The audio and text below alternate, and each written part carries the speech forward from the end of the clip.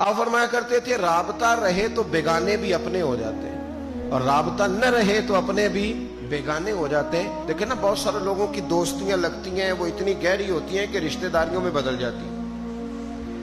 लेकिन बहुत सारे रिश्तेदार हैं, आप मिलना छोड़ दें उनसे। तो गया ना ताल्लुक? फरमाते थे, ताल्लुक कायम रहता है राबते से। राबता रखोगे तो ताल्लुक रहेगा